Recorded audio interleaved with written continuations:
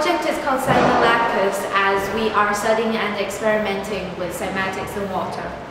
For our concept, we are illuminating the imperceptible Fibonacci sequence by projecting sound vibrations into water.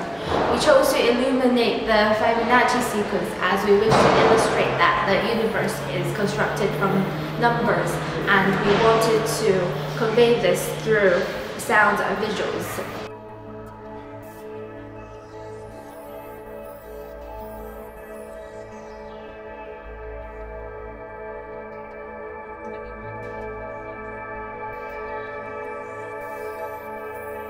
Um, is essentially the visualization of sound, and um, I guess one, one of the things you learn when visualizing sound, which is what cymatics really does, you learn about the malleability of sound and how, especially when you have very specific frequencies that you want to get across,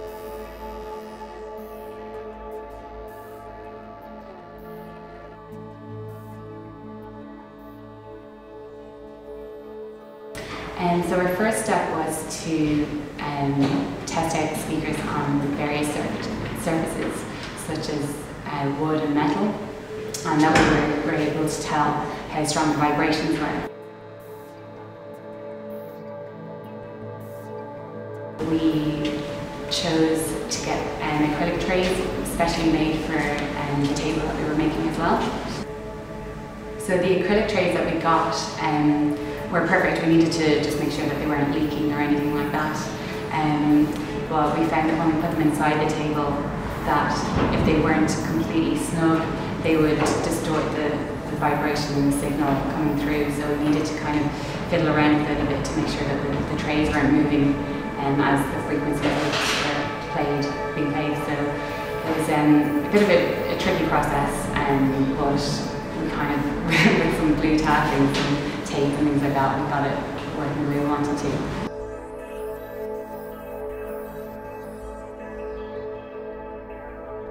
really interesting piece of work, basically because the translation and transfiguration of the sound and seeing the, the way that the waves are transposed into the waters, it's something that you can actually something that you can interact with, I guess. It's, it's quite uh, hard to imagine how the water, the sound, and Im images, patterns combine together.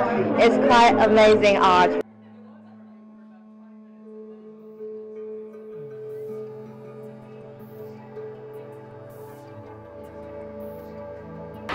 The sounds were calculated between the ratios between Fibonacci numbers when tuning to A equals 432 Hertz. The colors were calculated from the same ratios between the red and the green values in the RGB color model. Fibonacci sequence is a set of numbers from 1 or 0 that proceeds based on a rule that each number equals the sum of preceding two numbers. In nature, this ratio appears in various forms, such as pinecone, beehives, or even human anatomy.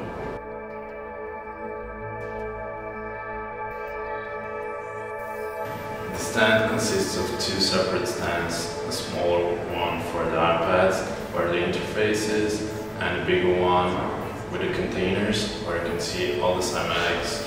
Um, the smaller one, due to its light weight, we use it as an entrance so you can just move it to the sides and that way you access all the devices and all the technology. Uh, in regards to the containers, these are placed in small shelves inside of the biggest, bigger stand. And this way we avoid permanent solution. So we are able to remove and place again the containers as many times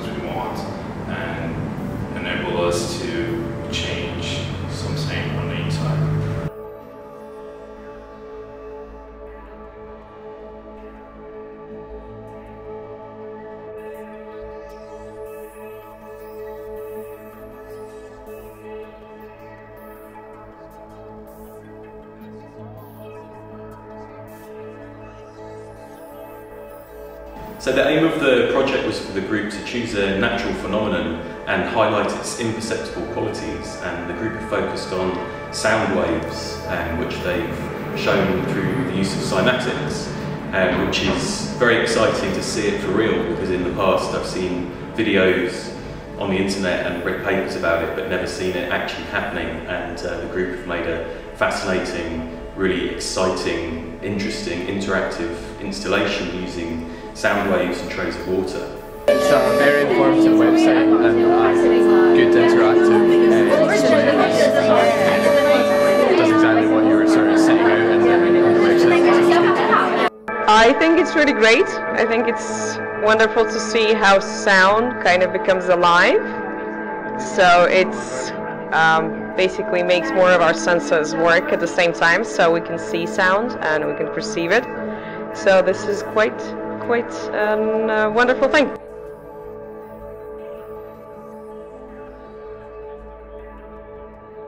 For the project, two months' time is not very long, but as a team, each of us has dedicated to the whole process to make it perfect.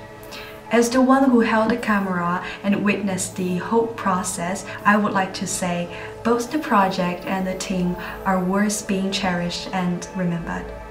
Although the project we did is similarly uh, conceptual and experimental at this stage, uh, what we want to realize is that um, if one day we could uh, use digital media to perceive, to feel and to interact with the imperceptible world around us, then what we did would make sense in the future.